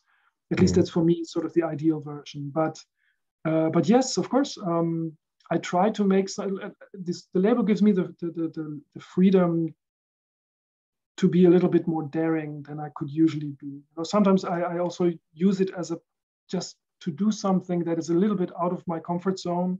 Um, but I know if I force myself to do it this way, then the result at least will be interesting. yeah, at least it will be interesting. Yeah. I think, for example, this this this uh, you've heard this uh, Baroque violin sonatas as well, right? I think, yes. yeah. Mm-hmm. I, I, think if I if I if I listen to it when when I listen to it now, it's not something where I would say, "Well, this is how I would usually record this." But um, but I really like it, mm-hmm. you know, and, and, and I specifically uh, tried to put myself in that place where I thought like, okay, I'm going to do this a little bit differently than what, what seems comfortable to me. Mm-hmm, mm-hmm. Yeah, and, and that's that's where we um, uh, gain more experience. You know, that's that's Absolutely. sort of like another the new reference point, and and mm. yeah, yeah, I, I, I agree yeah i mean it's it's like i said to me to me it's a really fascinating um, but but maybe just tell me a little bit like we're already like deep into the conversation but i'm going to ask you again so what is what has been like the maybe like the most frustrating part for you then hmm. So many to choose from. Yeah yeah. No I, uh, but i it's it's kind of like it's kind of obvious. Like when when you describe what you do i think everybody can kind of like also imagine what can go wrong you know? Especially in the community in the on the on the human level on the communication and if yeah. like, the artist is not not not happy for example or if maybe and this is this is something that also i, I would say is true for myself i don't necessarily always understand what I recorded. Like, so maybe like there's an engineer who actually did a great job, but then like I'm sort of in a in a in a psychological space where where I'm focusing on the wrong aspects or you know and and and where I would get pressures about things that don't matter where where yeah. you as somebody who, who has like this meta position uh sort of you did actually make the right decision but then and and that that's sort of like I don't know that that's where I feel uh, a lot of uh, potential conflict and frustration can happen. Yeah, I, I think there's. Um, I just talked to a to a friend of mine about exactly this point. Is, is that that um, what frustrates me, I think most, is that um, you know, like we started out when I explained that sort of I have this obsessive character trait. I think in in many regards, I come out. I know it, um, but um, part of that sort of i think is also something very healthy because it means that that um, you question things and you want to gain deeper understanding and you know i've I don't want to say that I don't want to make this into something deeper than it is, but I, have always been very drawn by, by Japanese culture and, and, also Chinese culture. And having lived in Asia, sort of, I've seen the reality of, of, of how things are in real life. But um, what I've always been drawn to is the idea that um, something very simple can actually be something incredibly complex and uh, something where, where there's so much more behind it than what, what meets the eye. So for me, part of the work that I do is trying to understand what I'm doing better. Mm-hmm. And I cannot understand when musicians dedicate their life to the art that they do not question what they're doing and they do not ask themselves why are things the way they are and why am i thinking what i'm thinking or what am i actually doing right now? It's it, it seems that there's been that this ongoing shift that things are becoming more superficial. Um, not so much from the quality of the work because i don't know if that's necessarily related. That's probably another source of frustration. But um, it doesn't i mean there's still people still play wonderfully and and there's this i mean probably more great musicians out there than ever before in the history over, over the entire world. But um, uh, it seems like that these questions, which to me are such basic, such essential questions to what we do, are not being asked anymore. And that is that translates to so many issues in in your work. It's um, as I said, you know, I'm we're all in there together trying to make the best of something um, that in the end belongs to the artists. But it seems like they're not interested in, in let's say, us recording people helping them with that. It's mm-hmm. more like, you know, um, it's more like I, am it's being annoying trying to do something better. And this is something that I've, I've come across the past five to 10 years more and more is that um, this, this effort of trying to improve things, which is an objective effort, and objective in a sense that I'm trying to understand um, the artists and I'm trying to be there for them. And sometimes that means telling them, I think what you're trying to achieve, you know, there's a better way to get there. There's there's not maybe even an easier, but there's there's a way that you know i always say if they if they were really egos egoistic they would do what i tell them yeah. because they would get what they want um, and this is just a pity and and and um, i think that's par- partially also because um, definitely um, the musicians that, that are that are being invested in have become younger and younger in classical music i mean in pop we all know but um, there's a different uh, structure, I think, in pop music, also because there's so much more money involved. Um, but um, with not with with that lack of experience, they, they, there's a lack of people guiding young musicians um, and young artists in the development of their career because everybody's so focused on just making money off them. Yeah, yeah. You've you've you've you know this last word like or the last words money making money that really um, and you know like i don't even going to going to say this so like under, i could say understandably so understandably so a lot of what what is happening nowadays is that like does this little bit more of more quality really matter does like like maybe they they would say hey dirk and Markus they are crazy they mm-hmm. want to spend more time on this why we're only going to sell like 1500 copies of this anyway. So why would we spend more? I want to forget about this and I want to go home. And this is that obviously is very sad. And that's also why I believe that there is that there is like a, a group of people or there are certain artists that would not never do that. Right. Mm. But but when when the music and like the it becomes a commodity, right? So it's it's a product, it's nothing, it's nothing else. There's like the motivation is there's no there's no heart in it right then what what happens is that um, that all efforts that you would bring in on your end um, it's just a matter of uh, it, it's predetermined that you're going to be frustrated you know there's yeah and, and yeah and, and the, the system system supports it i mean that's that's the problem yeah. is that i think um, um, almost well at, at, least for example for music publishing um, the company that i worked for uh, became big um, with a few works let's say mm-hmm. and uh, one very famous work that's this um, lord of the rings symphony by johann von der Meyer um, mm-hmm. i think probably the most played modern music piece of the past 100 years or something. It's, it's a um, incredibly successful piece. Mm-hmm. But of course, at the time, you know, it was, you know, nobody else wrote these kind of piece, music, and and and. But nowadays, this company, well, at least when I was there, this company was sort of so streamlined and uh, so confident in knowing what would make them profit that there would be no place anymore for a piece like that. And I think every healthy company should always have, should always spend money that doesn't need to be um, returned.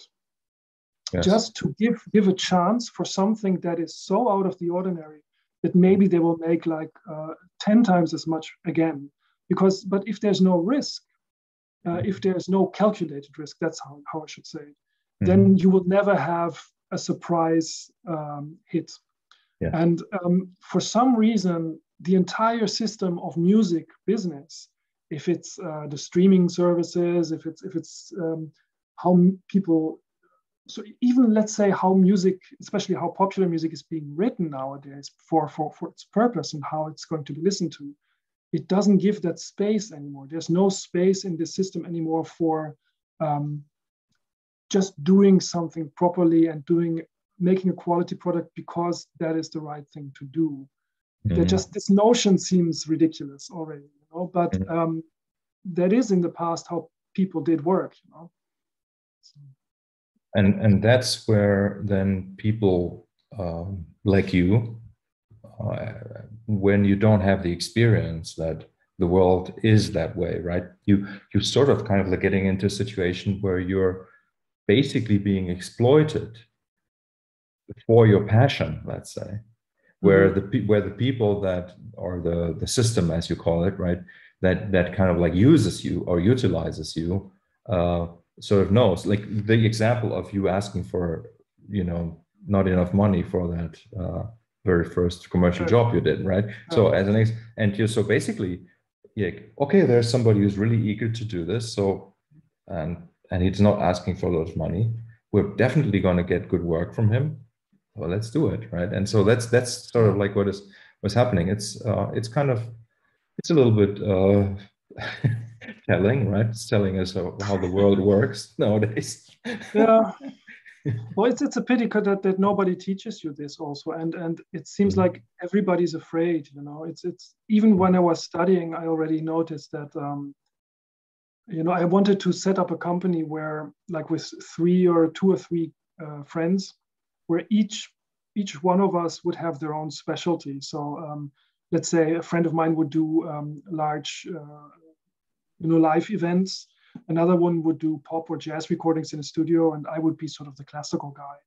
And the interesting thing for us would be that whoever had a job could take one or two of the others with him, and um, it's there's no question about who's in charge. And for the others, it's only interesting to see something different because you can learn from that, you can get more experience. It's, it's a change of scenery, fantastic, you know. Instead of spending two weeks in your editing studio, you go to some some large concert and and, and, and amplify uh, whatever, you know, a pop band or so. Fantastic. I would do that all the time. But um, it's like nobody was nobody wanted to take that step it's like everybody's like oh it's an interesting idea oh, great and so but nobody want because everybody feels like as soon as you do something with somebody else, you're giving something away. And I think this is this is one of the big problems, at least for um, for recording, um, sort of the content creation part of recording. So people like me and, and is that um, it's such a competitive business, and and there it's such a sort of a limited landscape of uh, people who work in that, that it seems like everybody just sort of is fighting to get their work and not trying to give anything away. Um, that's a pity because if you if you actually work together and and uh, you could for example agree on let's give ourselves a healthy limit that nobody should work under you know?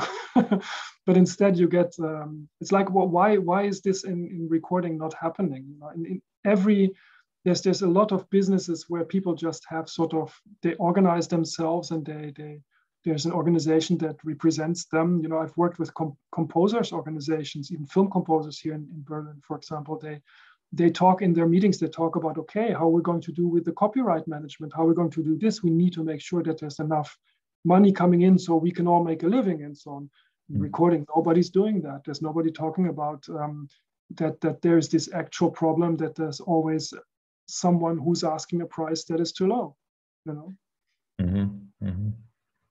I mean, you know, maybe I'm just maybe I'm naive. Maybe people will listen to this and they will say, "Well, that's just the market working, and if you're too expensive, then you're too expensive." But you know, no, I, I, it's true, but I think the uh, it's it's also the other way around.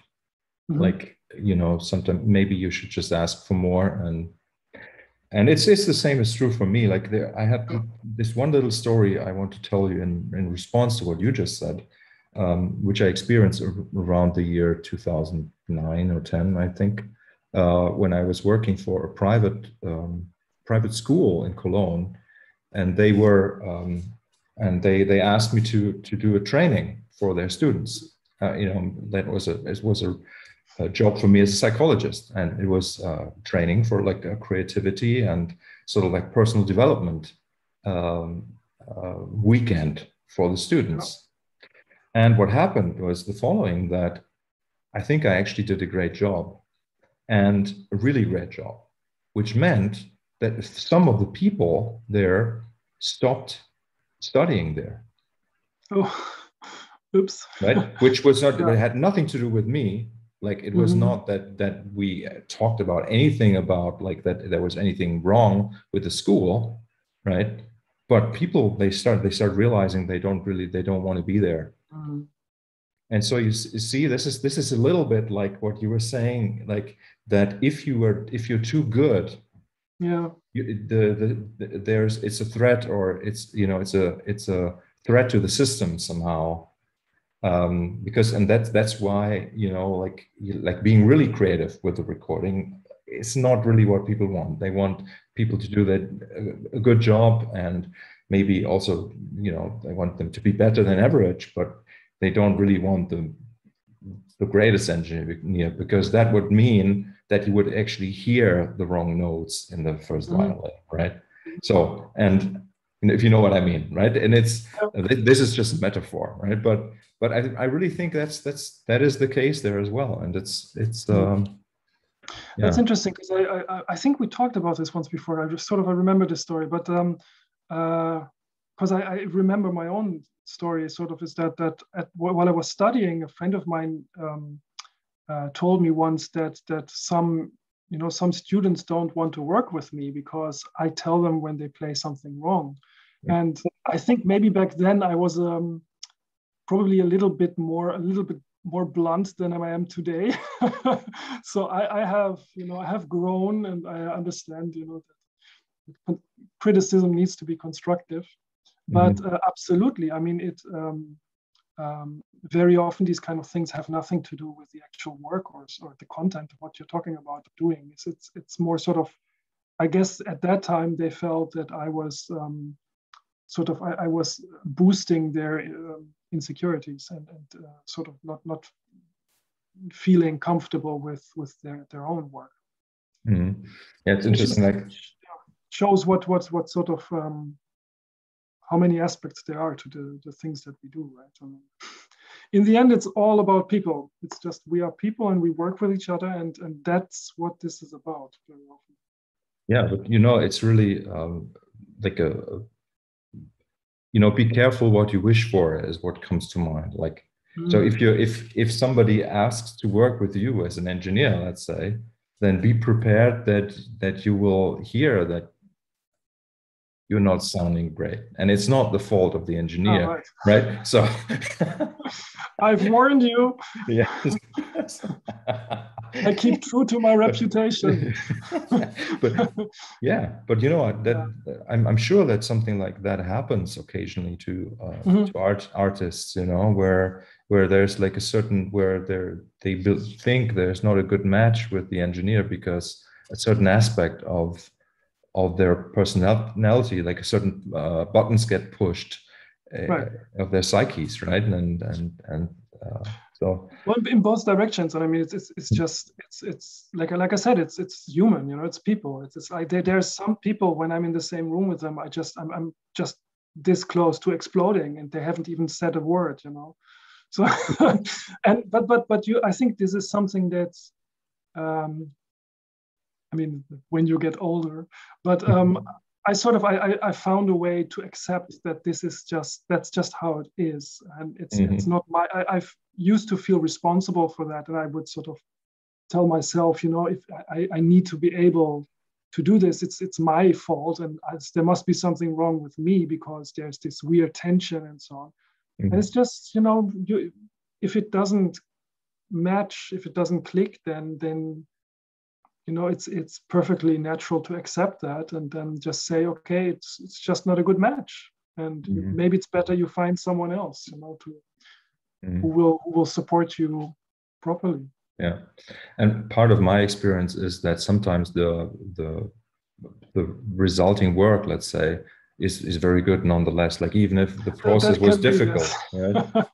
yeah. yeah yeah, that's a bummer though because it, it would be so it, it would feel better if if you sort of if you get the recognition for not feeling good that also the product is shit but often yeah, that's no, not no. the case yeah no i think it's just it's just a sign that in the moment there's a lot of work happening there's a lot of en- energy there's a lot of uh, uh, change happening right and that mm. is something that then feels like makes makes one feel uh, exhausted you know emotionally exhausted and you know I, I have this a lot when i'm when i'm doing recording sessions uh, where sometimes it just feels horrible right like or i mm. feel totally incredibly tired or and then i realize then like my my my brain kind of like my thoughts go to the negative side where i think okay like this wasn't good or blah blah blah blah or you know but then you know with uh having a few days off like and then like listening back to it after a few weeks and then realize okay this is actually very very good work you know and and i think that's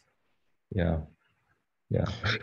I mean it's it's it's something that that that you hear i think a lot from um, like let's say classical soloists who, who play many concerts per year. They they they always have they, they very often share the experience that when they thought you know it was one of the best concerts they gave basically the audience was sitting there relatively bored you know and mm-hmm. sometimes when they're thinking like this is just today's it's not happening you know then they'll be like people screaming for encores and and and and and, and, and uh, bravo and this kind of thing so it's you know i think part of of um, working in an in the artistic field has to be, especially if you're someone who is creative and who's creating, mm-hmm. um, is is understanding yourself better as well and, and and trying not to be in your own way, you know. And, and, and part of that means exactly what you just described is that very often it's um, you know a feeling of discomfort or stress and these kind of things. It's it's actually in you and it's not there actually. Yeah. So. Mm-hmm.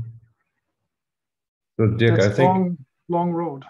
it's a long, it's a long road, exactly. And and you you see, I think I think this was a, a really fascinating conversation, hmm. right? And we and could go on much longer. We, right? could go on like uh, yeah, I know. Uh, and maybe maybe we do a part two at some point. Yeah, like we, we, we listen listen back to this and we take notes. Okay, ah, we wanted to talk about that, but we didn't. Right, right. I, I, I'm interested in, in in your experience, if I can ask. Um, is that that um, I, I've done like only a few of these kind of interviews and maybe one or two podcasts and this kind of thing. And I've always felt, you know, I, I, prepared for them and I knew exactly what it was what I wanted to say. And then I listened back and I thought like this, it's, it just sounds completely ridiculous. I don't know this. So I've, I've started now not to prepare at all and sort of try to be completely in a different place up until the moment that we started this Zoom conversation and, and, then think, okay, let's just have a conversation and we'll see how, how we go there. And I'm just wondering if that's your also your experience with with sort of doing these uh, yeah these, these podcasts is that yeah you know i think maybe that's that's the the big difference when you know you said before that 75% um, of the product that you record is preparation mm. right like in your in your line of work um, like in my line of work as a composer or or a performer not of classical music you know this is hmm. like what it you know um, preparation is is kind of like you could say it's nothing but it, you could also say it's everything but the preparation mm-hmm. is not it's not something that you can measure it's not something that is uh, it's a little bit like uh, let me use this example of somebody who procrastinates right so you you you know like say you have a, a year to write a composition for orchestra but then like in the last week of that year you actually start and you right. finish it just a minute before you have to send it off right and yeah. and and and this that's the that's the kind of because preparation there's preparation but then the question is also like in which time frame does the preparation happen and so hmm. with these conversations the preparation part kind of like moves into the into the process into the moment of talking to you Mm-hmm. So there's so there's no there's no real preparation. There's yep. it's it, it's improvisation. It's and again, like I say, it's this human it's the human uh, experience, right? Like it is just being human and talking to each other and and seeing and realizing that in the moment of committing to creating something, which is this conversation that we do, it just happens. Yeah. And it it's not we don't need to prepare for that, you know and and this is this is something like it's an important part in my uh, my improvisation classes that I give, right? Where like the question is like why do, why do I need to learn anything to improvise? Mm. You do not really. You you you are already complete. You're already perfect for right. that at any point, and you just you just do it. But then the question of it, and this is the big psych- psychological question, right? Because some people they just simply don't do it mm-hmm. right so like the, the problem moves to a different onto a different level into like a deeper psychological yeah. level you know would you say that maybe part of that um, is also that that sort of that you have to free yourself of of let's say potential elements that will keep you from from being able to to to respond and to to be free in, in, in what you do. I mean it's it's sort of i almost feel like with with these kind of conversations that um and i i've mean i've improvised on a on a moderate level in the past as, as a saxophonist. Seems like that that there's sort of a vocabulary that you have to to to to, to acquire. And you have obviously need to have the, the technical proficiency. But at a certain point it's more about removing the roadblocks and removing the elements that might be in your way so that you can actually be completely free and do your thing and, and, and start being creative in that moment. And maybe that's uh, a little bit what you're saying right? Is that that is yeah. because yeah. Yeah but even but even even this even this considerations about vocabulary or mm. it's it it really it really means doesn't mean anything okay. right because because like as a human as a human being or you know like there is always a range of uh, expressive behavior available right mm-hmm. and it doesn't it doesn't have to it doesn't always it doesn't have to come from a conscious place it doesn't mm-hmm. have to come from from a pre-planned uh, um, uh, source let's say right so like we can simply uh, we can simply um, go back and forth it's like it's like like throwing a ball to each other right in a mm-hmm. way right and so as the, the ball travels from you to me like i maybe have like a few seconds or milliseconds to think about what i'm going to respond and right. and and sometimes and this is the great thing the great thing uh, about the english language um, is that in a way this kind of improvisation is easier because in German, mm-hmm. as you know, we have to know when we start the sentence, we already have to know how we end the sentence. Right. Yes, that's fascinating. Yeah. Yeah. Yeah, no, but I find that these these imp- improvised or open conversations are are definitely the best. And mm. also going back to something that you said before, I think the the uh, what is holding people back these days is always the fear of of saying something wrong mm. or of of uh, you know like um, not fitting in, let's say, or right or or that you create that you create some sort of situation for yourself where you're getting into trouble that will uh, uh, be in the way of your career, for example, mm. right? So, but I, you know, and I don't know, maybe I'm I'm myself a victim of this. Could be like I could have had a much better or bigger career if I had considered what I'm saying, or even like if I had considered what kind of music I'm making, or right. and and but but then there's no point not to be myself really. Yes exactly yeah. At least I, at least that's what i'm thinking. I don't know maybe that's wrong you know and like or you know you could ask the question in the other direction. So what about people who have a certain success in like say making a lot of money? Like what is the price? Mm-hmm. that's that's the question really. What would be that price? What's that price? Like I'm paying a price for being who I am, but uh, somebody who is not himself, what what kind of what what does what does that person pay really? And I really don't want I don't even want to know because I don't want to be in that situation. Yeah, well, but I think it's because you know. I mean, you know what it means. You you see the difference, I think, and and um, uh, yeah. so you you you understand the implications. You know. Yeah and you see this is this is the kind of uh, the kind of person that i do want to work with and I, I, we talked about that before this is sort of like my my my professional but also like my my my uh, like my the interest of my heart let's say to work with these people who do want to kind of re- reconnect with who they really are mm. yeah I, I think that's such a such an important thing because as you as you call it before, like the money, the uh, the, the, the system, right? That, that everything that's kind of like uh, a lot of that is geared towards making people just be robots, as you say. Like even as a creative producer, you then become into a situation where you act like a robot and and just kind of like rediscovering um, who you really are. That is that really is a big challenge for a lot of people, especially in at my age like i'd say like 40 and 40 and up that is a big big issue a big question mm.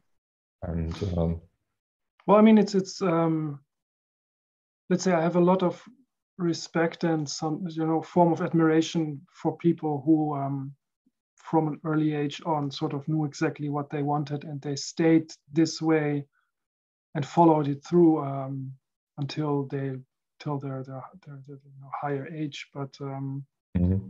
cannot say that that happened for me. But I, I feel that that's sort of like at this point of my life, and I'm like, what am I now? 42, I think. um, is that um, I, I, I, feel exactly what you're describing. Is that I, I feel like I'm I'm slowly returning to sort of to um, not the person, but sort of sort of the, the, the mindset that I had when I was younger and the mm-hmm. ideals that I had and the, the, the, ethics and so on. And, and, and but I've had this long voyage in between of stepping out of that and going different ways. And, and now it has become, now it's gotten a completely different meaning. It's funny that, that many, many, many of my um, ideas of the, the way I think, you know, of what is good, right and what is wrong. That hasn't changed much, but it has gotten a very different meaning. And I, I found that um, at least it's very rare, if not impossible, that if, if you want to arrive at that place uh, of deeper understanding, you have to go through some sort of suffering, unless, uh, you know, um, you're born with that understanding of the world. But um, yeah, so I'm, I'm, I'm grateful for that, but I wish it could have been a little bit less painful. Yeah, yeah, yeah. It's um, yeah, it's part of it's part of life. Right.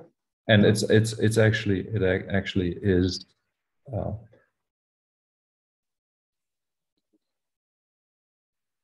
you could say there is there's actually life before death. And that's why we experience this. Ah, okay. And and you see so and so that's one of one way of, of reframing that. Yes. Okay dirk. Um, awesome. Yeah Thanks thank so you very much. this was great. Yeah. and um, yeah. Let's say goodbye for now and i'll talk to you soon and i'll see you in a few weeks uh, for a recording project. This Absolutely. will be great. Yes. Okay. Awesome. so yes. see you. Bye bye. for now. Yeah bye. Ciao, ciao.